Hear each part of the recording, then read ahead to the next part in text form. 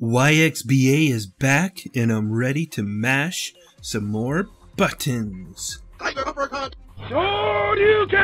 In today's video, I wanted to give my honest thoughts on Emily Rogers' latest blog post. And please keep in mind that in no way am I intending to attack her. It will be a cold day in Doom before I turn this channel into another Black Bond. Firstly, I think we have to keep everything in perspective. Nobody is right 100% of the time when it comes to sourced information. Even if their sources are solid, sometimes plans can change. There are a lot of people out there that are saying that because Emily was right about Paper Mario coming to the Wii U, it means that she will always be right in the future. I would like to point out that before the Wii U came out, she said that Rockstar was working on a game for the Wii U and that Soul Calibur 5 would be a launch title on the system. Neither of those leaks turned out to be true, and while it could easily be that plans changed, it just goes to show you have to be careful when taking one person's word as gospel. And even if they were right at the time, in the big picture, they can still end up being wrong. So I have no real reason right now to doubt her sources on this. However, it is my opinion that she may not have been asking the right questions, and it's very possible that if her blog is taken at face value, it could be very, very misleading. She has basically said that the raw specs of the NX are similar to the Xbox One in terms of power, but that the chips being used in the NX are industry leading and much more modern in the Nintendo NX. When comparing old chips to new chips, you simply aren't making an apples to apples comparison. For example, in the past four years, AMD has struggled mightily with their bulldozer CPU architecture on PC.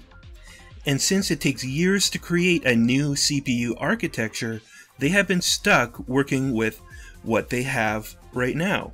The fact is that it has a much lower instructions per second than chips by rival manufacturer Intel. To try and compensate for this, they have been hugely cranking up the clock speeds on their CPUs and have still struggled with parity in terms of processing power, and they have also had problems with their CPUs being a lot less energy efficient. However, if you blindly looked at the raw specs, you would have to assume that the AMD CPUs are much better spec wise, but in reality, they are getting destroyed by Intel in terms of performance and power consumption. The point I'm making here is that you can't just look at the raw spec numbers. Not even in a case where the architectures are of the same age, and certainly not when the NX has industry leading chips. She also said that the GPU is custom and insinuated in a vague manner that the GPU was not Polaris and laughed at the idea of a GPU not being Polaris but being Polaris like. This is where things, in my opinion, really start to come off the rails. What it sounds like to me is AMD has been developing a GPU together with Nintendo. This is a separate project from their work on the Polaris. But that does not mean that it can't make use of some of the modern features from Polaris, and I see no reason why this would be an impossibility. It's probably not a modified Polaris chip, but I do know that it is quite common for console GPUs to have modern features built in at a hardware level that are beyond what is currently available in off the shelf PC cards. The idea that it would be a very modern chip but not feature any new and improved features really boggles my mind. She also went on to say that the NX isn't trying to blow away any systems except for the Wii U. Well, that's kind of besides the point, isn't it? I think what we really want to know is whether or not it will outperform or underperform the PS4 when it comes to actual performance.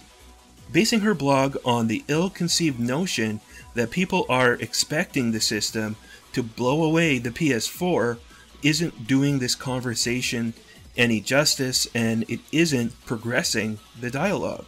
I still have a lot of respect for Emily Rogers and think she does a great job on a lot of things.